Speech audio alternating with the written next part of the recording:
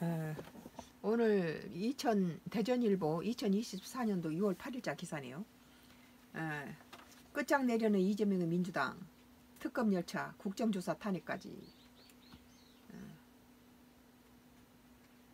22대 국회가 특검정으로 빠르게 빨려들고 있, 습니다. 야당이 최상병 특검법, 김건희 종합특검법, 대북 송금 특검법, 한동훈 특검법 등 특검 열차 4대를 출발시켰습니다. 여야가 22대 국회 개원과 동시에 사활을 건 승부를 펼치고 있는데요. 이번 어, 어, 이번 주에는 민주당과 조국 혁신당이 쏘올린 각종 특검이 어떤 내용을 담고 있는지 알아보도록 하죠.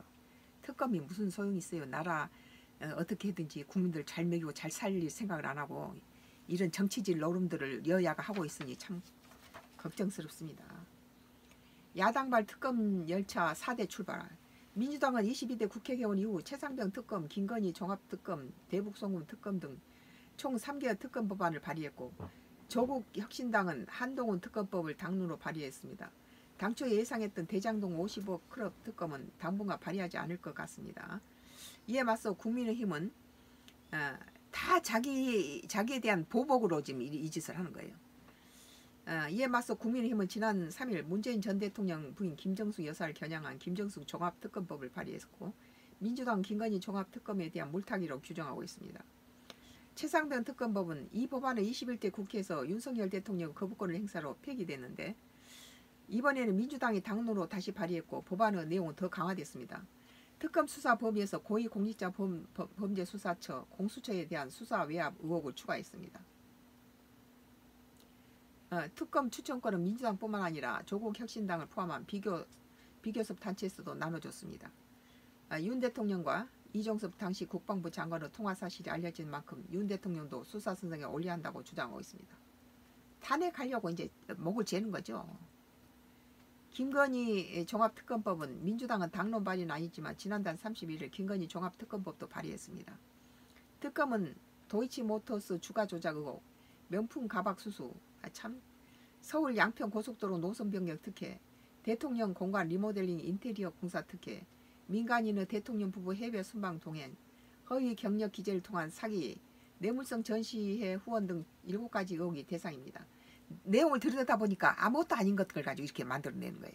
자기들이 갖다 함정을 파서 만들어 놓고 그걸 또 문제를 삼고 민주당은 100여 명의 수사 인력을 투입해 6개월 내내 신속하게 수사하겠다는 방침 입니다. 법안을 대표 발의한 이성윤 의원은 김건희 씨는 헌법에 부정한 특수 계급이라도 되는 것인가 라면서 모든 국민이 법 앞에 평등하다는 진리를 김건희 종합 특검 법안을 통해 증명하겠다고 했습니다. 대북송금 특검법은 민주당이 지난 3일 이재명 대표와 관련된 쌍방울 불법 대북송금에 대한 전면 재수사를 담은 특검법을 발의했는데요. 특검 법안에는 김성태 전 쌍방울 그룹 회장의 대북송금 사건에 대한 검찰의 부실 수사 의혹, 검찰이 이화영 전 경기도 평화부지사의 음주 해유 등을 통해 허위 진술을 강요했다는 의혹, 김전 회장과 검찰의 구형 거래 의혹 등이 포함됐습니다. 국민의힘은 이 전 부지사의 1심 판결을 겨냥한 방탄용이라는 시, 어, 각입니다 김영태 국민의힘 의원은 5일 YTN 라디오 뉴스 파이팅 배승희입니다에서 출연해서 재판 중인 사안을 다시 들여다보고 재판을 중단시켜 수사를 하겠다는 게 어느 나라 법인지 모르겠다. 재판 중이면 재판이 끝날 때까지 기다려야죠. 상권 분립에 위배된다면서 이재명 대표 방탄을 위한 특검법을 계속 내놓는 것이라고 비판했습니다. 그 자기 살기 위해서 이런 짓을 하는 거죠 지금. 한동훈 특검법은 조국 혁신당도 예고했던 대로 1, 1호 법안으로 한동훈 특검법을 발의했습니다. 내, 내가 아, 내 자식, 내 딸하고 음, 내 자식하고 내 아내가 당했으니 너도 한번 당해봐라 이거죠. 보복, 보복 정치에 지금 보복 정치 시대예요 지금이. 여야 할 것 없어요. 특검 법안 내용 뒤에는 손준성 검사의 고발 사주 사건에 연루된 의혹, 윤석열 전 검찰총장 징계 취소, 소송 패소 과정, 직무유기 의혹, 이재명 당대표 체포 동의안 설명 당시 공무상 비밀 누설 의혹, 자녀 논문 대필과 가족 비의 의혹, 예, 비위 의혹 등이 포함되어 있습니다. 다만 이 법안에 대해 민주당 전폭적인 지지를 보내지 않고 있는데요. 민주당 입장에서는 한동훈 특검법을 통과시켰을 때 정치적 이득이 크지 않다고 판단하고 있습니다. 이제 그 본래 민주당이 이재명 친이파가 아닌 사람은 이런 말을 하겠죠. 나라를 위해서 아니면 자기 당을 위해서. 당 일각에서는 오히려 한동훈 전 국민의힘 비대위원장 존재감을 부각시키고 국민의힘 지지층을 결집시키는 역할가, 역효과가 날 수 있을 것을 우려하고 있습니다.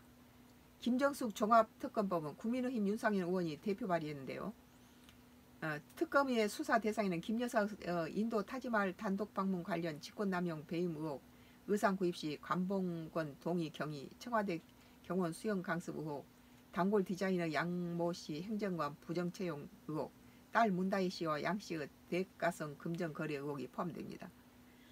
다만 이 법안은 국민힘 내에서 반대 의견이 만만치 않습니다. 성일종 사무총장은 3일 CBS 라디오 김현정 뉴스 속에서 저는 김정수 여사 특검법에 사인할 생각이 없다. 모든 건 특검으로 하자면 대한민국 검찰과 경찰 사법기관은 왜 있어야 하냐라고 말했습니다. 어, 이것들은 다 그냥 통과될 수 있는 대단치 않은 것들 가지고 이렇게 상대방이 하니까 나도 니들 없니 없니 털어서 먼지 한놈 어디니 너도 이런 일 있잖아 이제 이렇게 상대방을 이렇게 지나간 과거도 털어서 이제 이렇게 하는 거예요. 그러니까 이제 문제는 어, 이재명이라고 보는 거예요. 더민주가 더민주는 기본을 지키는 당인데 이, 이재명이가 자기 사람으로 키워가지고 지금 이렇게 에, 나라를 지금 대통령이 일을 해야 되는데 뭐 탄핵 운운하는데 무슨 대통령이 일을 할 수 있겠습니까? 어, 오늘 나의 정치적 코멘트는 우리에게 익히 알려진 김건희 여사 명품 핸드백 금품 수수 사건을 하나만 보더라도 이재명은 대선 패배한 자신의 대장동 사건을 덮기 위해서 당선자 윤석열 후보의 부인 김 여사에게 300만 원짜리 핸드백을 준비하여 목사를 통해서 목사의 손목시계에 카메라를 설치하고 핸드백을 선물로 주고 받은 걸 모두 찍고 녹음한 뒤에 언론에 풀고 바로 이재명은 어, 비롯한 더민주가 기다, 기다렸던 듯이 어, 이 기, 김건희 여사 아, 명품 핸드백 사건을 조작한 것입니다. 어, 뒤에서 조종한 것이 다 이재명 쪽, 쪽이라고 난 보는 거예요. 자기들이 판 함정에 빠진 김건희 여사를 도마에 올려놓고 난도질을 가했죠. 그 이면에는 대장동 사건이나 이재명 부인 에, 김혜경 사건을 덮기 위한 에, 공작이나 대북 송금이라든지 그리고 그 국민이 뽑은 윤석열을 흔들어 정치에 혼란을 주고 탄핵시키기 위한 계략이 더민주 당내에서부터 시작되었다고 봅니다. 먼저 이러 이러면은 예, 이제 이런 이런 예, 사, 에, 그 사단은 원내 이재명 에, 그 사람인 원내대표 국회의장 다른 음, 저기 후보들은 사퇴하도록 압박하여 당, 단일 후보를 내세워서 이재명 사람으로 다 당선시킨 후에 더민주를 마비시키고 독단적으로 자기가 칼을 휘두르고 있어요. 어. 아주 독재를 지금 휘두르고 있어요. 그, 그 민주당 내에서. 민주당이 이재명이 의한 민주당입니까? 그, 그 당이 수십 년을 내려온 당인데. 그리고 이제 그 호남 저기 거석을 희석시키기 위해서 무슨 당원을 지위를 높이고 어. 국가에 어찌 됐든지 정권 탈욕 야욕으로 또 자기 그 어, 쌍방울 뭐그 무슨 대부 송금 사건이라든지 대장동 사건이라든지 이런 것들을 감추기 위해서 상대방을 찌른 거죠. 예. 그 최대의 방어는 최대의 공격이라고 그런 말이 있잖아요. 그 공격하는 거예요 지금 자기 걸 방어하기 위해서.